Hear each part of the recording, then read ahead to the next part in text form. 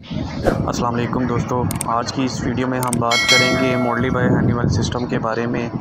आ, ये पैनल आप देख सकते हैं ये पाँच लूप का पैनल है और इसका जो मॉडल नंबर है Z X five S E ये मॉडली बाय हनीवल का पुराना मॉडल है। आ, इसमें दो बैटरीज़ इंस्टॉल होती हैं और ये पाँच लूप का पैनल है। आप देख सकते हैं इसमें एक लूप इंस्टॉल्ड है। बारह वोल्ट सात एम्पेयर की बैटरीज़ दो इंस्टॉल होती हैं इसमें। तो इस तरह हमने इन दोनों जो पैनल्स को नेटवर्क किया हुआ है आपस में। तो अभी ये पैनल देख सकते हैं, इसमें जो है टोटल पाँच लूप इंस्टॉल हैं और पाँच लूप इसमें वर्किंग कंडीशन में है।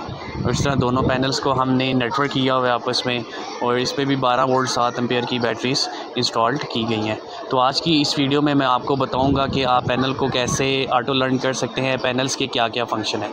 तो सबसे पहले आपने यहाँ पर पासवर्ड इंटर करना है नाइन एट नाइन एट उसके बाद आप ये देख सकते हैं ऑप्शन है मिस्टिंग का ऑप्शन आ रहा है टेस्ट है टाइम है इनेबल है डिसेबल है प्रिंट है और व्यू का ऑप्शन आ रहा है।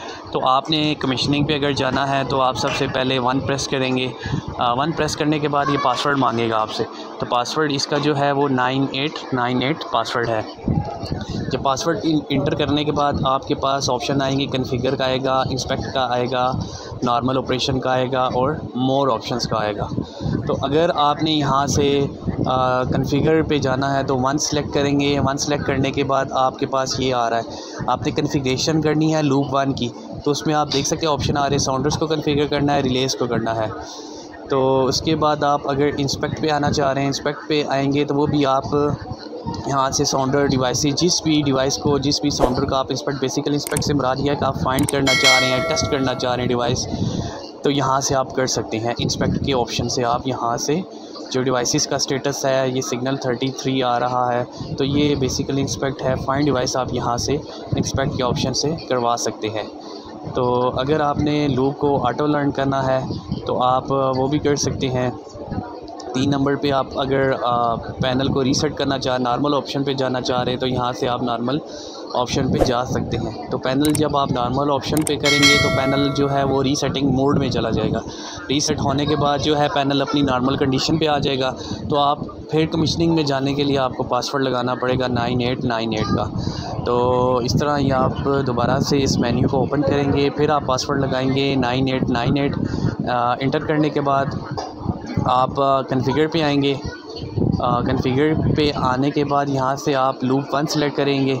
अगर आपने यहाँ से ऑटो लर्न करना है तो तीन नंबर का ऑप्शन आप देख सकते हैं। हमारे पास ऑटो लर्न का ऑप्शन आ रहा है। तो तीन नंबर हम यहाँ से सिलेक्ट करेंगे। सिलेक्ट करने के बाद वो पूछ रहा है कि आपने यही जो है लूप जो है एलोकेट करना है। आप ये देख सकते हैं पैनल रीसेटिंग मोड में आ गया है और ये जितनी भी डिवाइसेस का स्टेटस है हमारे पास आ गया। ऑप्टिकल 62 टेम्परेचर जो सेंसर हैं, दो हैं साउंडर छः हैं तो इस तरह हमारे पास जितनी भी डिवाइसेस का डाटा है वो शो हो चुका है।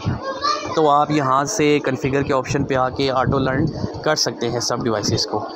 तो अगर आपने इसके अलावा कोई ऑप्शन सेलेक्ट करना है, यहाँ से रिले है साउंडर है अच्छा ये आप देख सकते हैं, यहाँ पे एक फ़ॉल्ट आ रहा है लो आउटपुट का। बेसिकली लो आउटपुट का फ़ॉल्ट इस वजह से आता है, अगर आपके जो सिग्नल है डिवाइस का सिग्नल है, अगर वो कम हो जाए, दो पे आ जाए, पाँच पे आ जाए बेसिकली जो डिवाइस का सिग्नल यहाँ पे शो करता है। Thirty three thirty four ninety eight hundred percent होता है हंड्रेड परसेंट से डिवाइस फिर डाउन होना स्टार्ट हो जाती है। अगर आप उसको प्रॉपर मेंटेन नहीं करेंगे तो वो फिर फॉल्टी कंडीशन में आ जाएगी। तो ये फिर लो आउटपुट का फॉल्ट आ जाएगा। तो लो आउटपुट को फॉल्ट क्लियर करने के लिए आपको डिवाइस रिप्लेस करनी पड़ेगी। तो इस तरह ये लो आउटपुट का फॉल्ट क्लियर हो जाएगा।